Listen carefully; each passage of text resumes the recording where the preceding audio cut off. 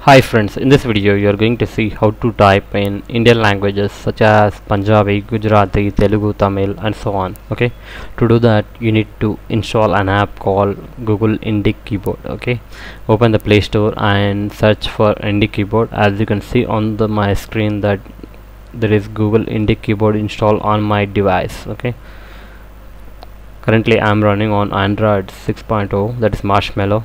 You need to open the settings and scroll down and go to language and input. Uh, under keyboard and input methods you need to click on current keyboard. Uh, click on choose keyboards. You need to enable google indic keyboard okay? Once you have enabled the google indic keyboard go back click again on current keyboard. Now select english and indic languages that is google indic keyboard. Once you have done that go back now let's open facebook whatsapp or even google search. I'm opening google search. When you've done that uh, on the keyboard you have the globe option. Click on that.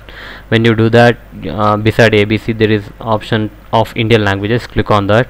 It will show the list of available indian languages for you to use. I'm selecting punjabi. Click on ok. Now you have two layouts. One is when you type in english it will show in punjabi language as you can see on my screen in the second option uh, click on the icon. You need to you can type directly with Punjabi keyboard layout as you can see on my screen.